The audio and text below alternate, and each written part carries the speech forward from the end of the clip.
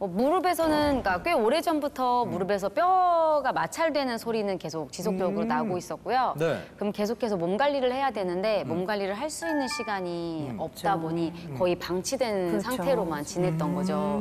네. 그러니까 저희는 특히 펜싱을 했던 선수들은 반복 동작을 하는 횟수가 많다 보니까 네, 무릎 부상이 좀 많아요. 네. 우리 몸은 약 네. 200여 개의 크고 작은 뼈들로 이렇게 구성이 되어 있거든요. 네. 그 뼈들을 이어주는 게 바로 관절인데요. 음. 연골은 3mm 정도로 관절과 관절 사이에서 윤활유 역할을 하면서 관절에 가해지는 충격을 흡수해 줍니다.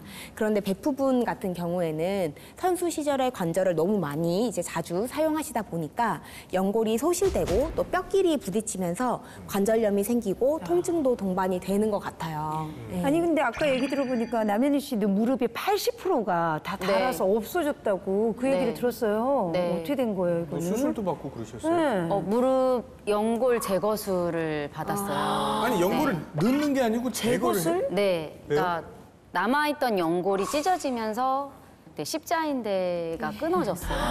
끊어졌다고요? 네, 그래서 핀을 받게 돼서 어머. 그래서 양쪽 무릎이 좀 정상적이지 않게 된 거예요. 그래서 제가 좀 관리가 시급한 상황이 된 거죠. 네. 예.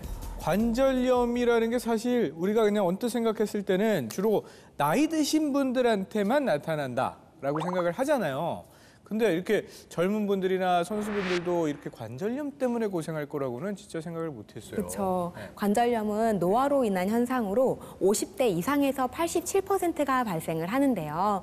40대부터는 퇴행성 변화가 시작이 된다라고 보시면 됩니다. 네. 남현애 씨나 또 배부분만 보더라도 관절염은 이제 더 이상 노인성 질환이라고만 볼 수는 없는데요. 실제 2018년 건강보험심사평가원이 발행한 생활 속 질병 통계 백서원에 따르면 은요. 퇴행성 관절염으로 진료받은 환자만 2016년에 368만 명으로 20대 젊은 연령층에서도 급증하고 있다고 합니다. 네.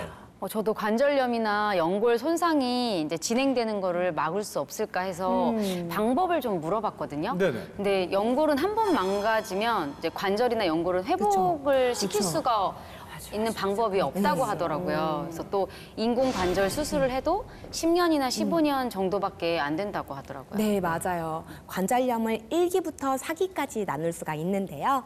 1, 2기 정도는 줄기세포 치료나 주사 치료가 어느 정도 가능하거든요. 그런데 배부분처럼 무릎에서 소리가 날 정도면 3기 정도로 볼 수가 있고요. 또 남현희 선수처럼 연골이 거의 남아있지가 않다면 4기 정도로 볼 수가 있는데 이때는 인공관절 수술이 필요한 상태라고 볼 수가 있습니다.